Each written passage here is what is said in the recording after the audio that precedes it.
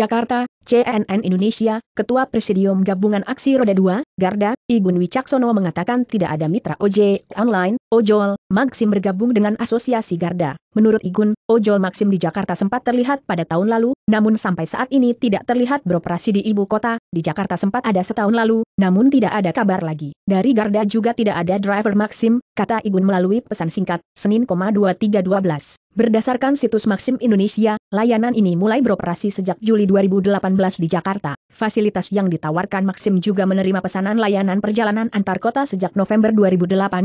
Lihat juga, mengenal Maxim, ojol Rusia yang digeruduk Grab Gojek pada Maret 2019, Maxim memperluas layanannya ke Yogyakarta dan Pekanbaru. Layanan Maxim di Solo dimulai pada April 2019, menyusul Balikpapan dan Bandar Lampung pada Juni. Pada Agustus, Maxim memulai layanan antar jemput penumpang di Denpasar, Pontianak, Banjarmasin, dan Jambi. Ekspansi terus berlanjut pada Oktober, dengan melebarkan sayap di Singkawang, Samarinda, Bengkulu, Padang, Banda Aceh, Palembang. Pada situs resmi Maxim, disebutkan biaya layanan motor Rp 6.000 dan mobil mulai dari Rp 12.000. Namun, di lapangan Maxim menetapkan per 4 km awal sebesar Rp 3.000. Sedangkan tarif minimal Kemenhub Rp 7.000 plus biaya per KM yang berbeda pada zona I, II, dan III. Alhasil sejumlah mitra driver Gojek dan Grab menggeruduk perusahaan transportasi online Maxim di Solo. Mereka menuntut Maxim untuk menerapkan tarif sesuai regulasi pemerintah. Lihat juga, menyambangi Ruko Maxim Ojol Rusia di Jakarta menanggapi penggerudukan itu, Ketua Presidium Gabungan Aksi Roda 2, Garda, Igun Wicaksono wajar dilakukan karena tarif murah. Maxim dapat merusak iklim bisnis yang ditetapkan pemerintah melalui keputusan Menteri Perhubungan nomor 348